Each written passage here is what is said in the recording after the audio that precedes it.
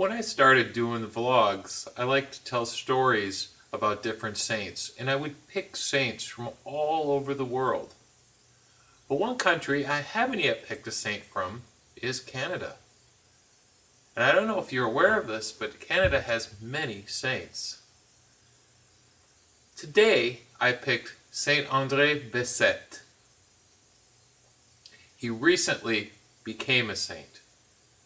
His life is quite fascinating, so I'm going to tell you his story today.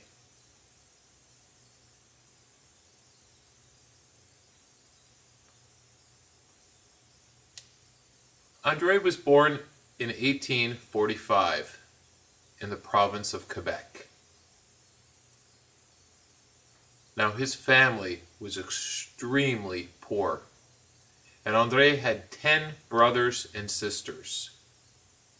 When he was nine years old, sadly his father passed away in a freak accident where a tree fell and killed him.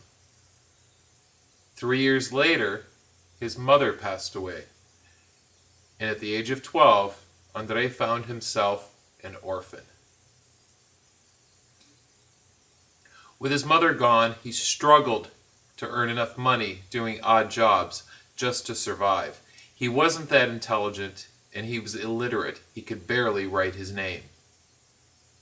However, he did have one strong asset, and that was his faith. He went to Mass all the time. And his favorite saint was Saint Joseph. One of the priests saw how devout he was and kind of kept an eye on him and eventually suggested that he join this order of the Congregation of the Holy Cross. He knew that Andre would probably become a saint. However, the order turned him down because he wasn't in the best of health. So, at some point, the Bishop of Montreal went to the order and asked them to please accept him. So they finally did, and he became a brother. And a brother is very similar to a nun. Nuns we call sisters, and men that belong to orders we call brothers. Because Andre wasn't very smart, the superiors didn't really know what to do with him, so they decided to let him work at the college. Not teaching, of course, but to work as a porter. And a porter was a person that would answer the door when people would show up on the doorstep of the college. He did that for 40 straight years. When he wasn't answering the door, he would do odd jobs like cleaning and visiting sick people.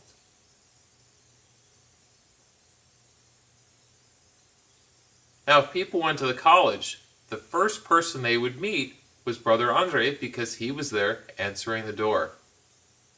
And that was really part of God's plan.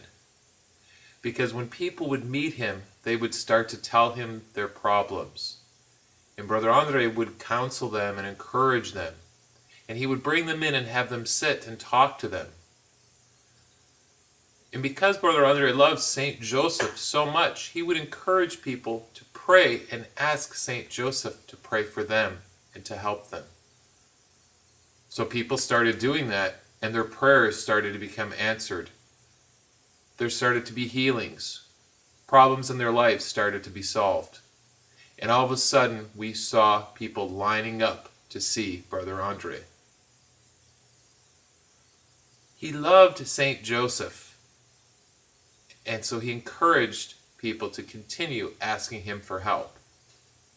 And because of that, he went to his superiors and asked them if he could build a chapel or a shrine to honor St. Joseph. Once it was built, people would flock to the shrine to be healed.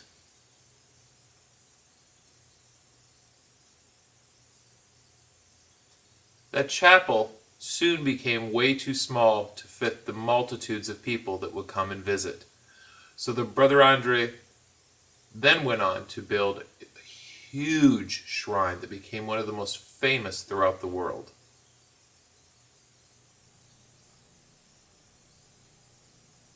At the age of 91, Brother Andre died in 1937. And at that time, in his obituary, the newspaper said that over 1 million people came to pay their respects. The shrine in Montreal is still there, the St. Joseph Shrine. And people from all over the world to this day come to that shrine to, and healings happen. When you enter the shrine, you will see piles of crutches and wheelchairs and braces and all kinds of things that people have left there because they were healed while they were there and no longer needed them. Also, the shrine houses Andre's tomb. In the year 2010, the Pope declared him a saint.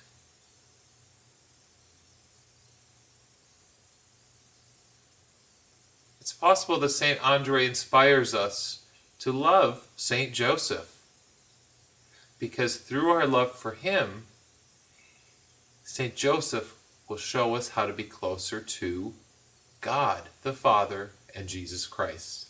May God bless all of you.